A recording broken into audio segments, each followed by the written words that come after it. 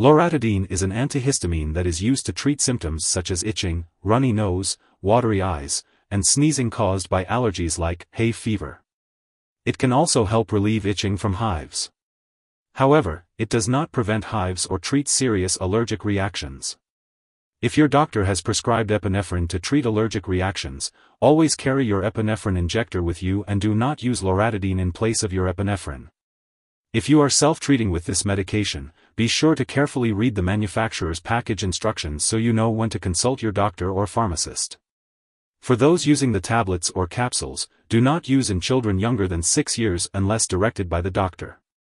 And for those using the liquid or chewable tablets, do not use in children younger than 2 years unless directed by the doctor. It is important to take loratadine as directed by your doctor to get the most benefit from it. The usual daily dosage is 1 tablet or capsule, 10 mg, once a day. It can be taken with or without food. Loratadine is typically taken in the morning, but you can also take it at night if it makes you drowsy. If you have any questions about the best time to take loratadine, consult your doctor or pharmacist for advice. When taking loratadine, it's important to carefully follow the directions on the product package if you are self-treating. If the medication has been prescribed by your doctor, be sure to follow their instructions and the ones on your prescription label. Always consult your doctor or pharmacist if you have any questions. You can take loratadine by mouth with or without food, usually once a day, as directed by your doctor or the product package. If you are using the chewable tablets, make sure to chew each tablet well and swallow. If you are using the liquid form, be sure to measure the dose carefully using a special measuring device or spoon.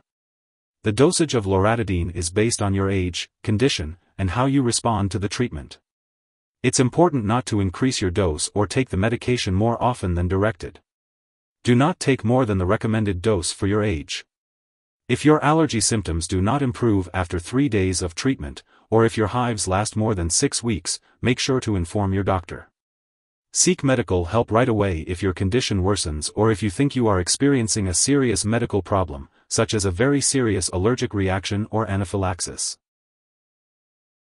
If you experience any unusual effects from taking loratadine, it's important to contact your doctor or pharmacist right away. While serious allergic reactions are rare, it's crucial to seek medical help if you notice symptoms such as rash, itching or swelling, severe dizziness, or trouble breathing. Be aware that there may be other side effects not listed here, so make sure to consult with your healthcare professional if you notice anything out of the ordinary. As for the best time to take loratadine, it's recommended to take it as directed by your doctor or pharmacist. The usual dosage for adults and children over the age of 6 is 10 mg once a day. It can be taken with or without food. Always follow the instructions on the product label and check with your doctor if you are unsure about the correct dosage for you or your child. Do not use loratadine if you are allergic to it or desloratadine, or if you have any other allergies. Talk to your pharmacist for more details about the inactive ingredients in this product. Before using this medication, tell your doctor or pharmacist if you have kidney disease, liver disease, or any other medical conditions. It's important to consult your doctor before using loratadine to treat hives. Loratadine does not usually cause drowsiness when used at recommended doses. However, be cautious about driving or using machinery until you are sure you can do so safely.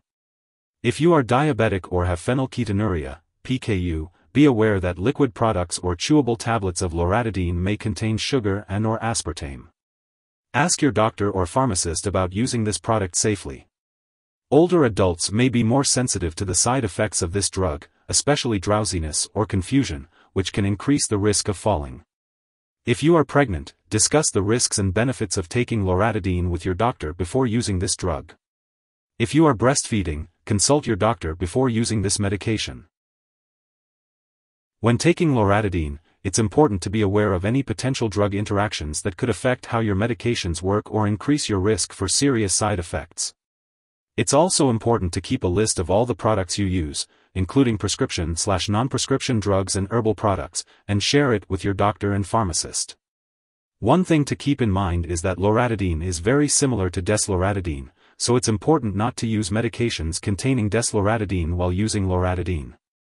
Additionally, it's important to be aware that this medication may interfere with certain lab tests, such as allergy skin testing, potentially causing false test results.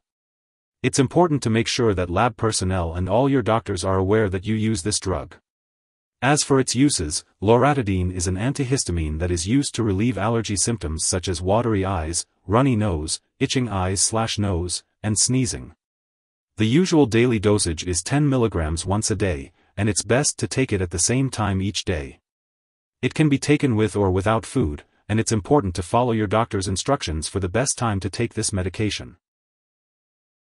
If you or someone else has taken too much loratadine and is experiencing severe symptoms like passing out or difficulty breathing, it's important to seek immediate medical attention. In the U.S., you can call your local poison control center at 1-800-222-1222. In Canada, you can call a provincial poison control center for assistance. Symptoms of an overdose may include severe drowsiness. If your doctor has prescribed loratadine for you, it's important not to share it with others. Sharing prescription medication can be dangerous and may not be safe for someone else to use. If you forget to take a dose of loratadine, take it as soon as you remember. If it's almost time for your next dose, just skip the missed one and take the next dose at your regular time. Do not take a double dose to make up for the missed one. When it comes to storing loratadine, it's important to pay attention to the specific instructions on the package. Different brands and strengths may have different storage requirements, so be sure to read the label or ask your pharmacist for guidance. It's important to protect loratadine from light and avoid storing it in the bathroom. And as with all medications, make sure to keep it out of reach of children and pets. When it comes to getting rid of expired or unused loratadine, it's important to do so properly. Do not flush it down the toilet or pour it into a drain unless specifically instructed to do so. Instead, consult your pharmacist or local waste disposal company for the best way to discard the product. If you need more help, call your doctor for medical advice. In the US, you call FDA 1-800-FDA-1088. In Canada, you may call Health Canada 1-866-234-2345. Wishing you good health. Thanks for watching.